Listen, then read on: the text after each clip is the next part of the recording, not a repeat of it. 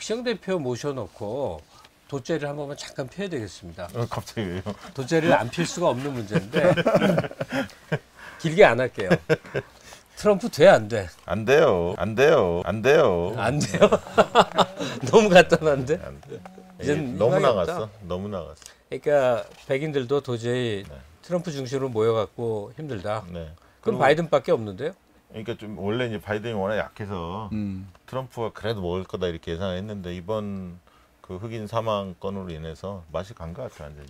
내가 딴새 딴 사람이 말하면 다른 게 많은 가능성도 뇌리에 막 무게무게 피우는데 박시영이가 안 돼 그러면 안 되는 네, 거야. 근데 이제 걱정은 바이든이 잡았을 때 사실 한반도 문제, 남북 문제가 별로 관심 또 없을 별로, 걸요. 별로 관심이 없기 관심이 때문에 그 한미일 동맹으로 다시 가면 네, 그래서 이제 트럼프보다 우리로서는- 훨씬 나빠져요. 이건 우리로서는 상당히 곤혹스럽습니다. 그런데 이제 미국에서 그 활동 중인 동포들 중에서 인권 운동 하시는 분들이 여러 의식 있는 분들은 그러니까 트럼프의 그 북한 문제와 관련해서 전향적인 거는 이해는 되나 도저히 트럼프 체제하에서 못 살겠다 우리가 우리도 살해하는데 미국에서 확고하더라고요. 그래서 이건 뭐 물 건너간 거. 트럼프는 안 된다. 어, 그러면 바이든이 되는 게 거의 기정사실인데 바이든은 그 뭐죠? 오바마의 복구, 오바마 시대의 복구를 전면에 내세웠는데 그렇다면 대외 정책도 오바마 정책으로 간다. 그러면 북중러 한미일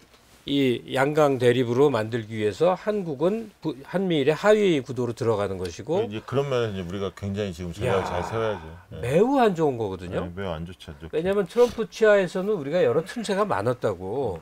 근데 오바마식으로 가버리게 되면요, 정말 우리 경제에도 안 좋습니다. 이 한미일 북중러 대립 관계에서 중국 무역 같은 게 엄청나게 위축을 받을 텐데 다른 통로가 있어요?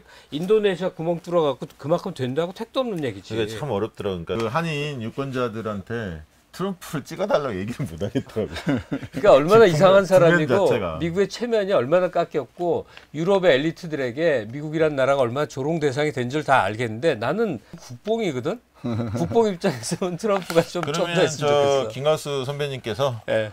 어, 선거운동하러 어, 가시는 선거운동 걸로? 가시는 동안 우리 신장식 변호사 진행하는 걸로.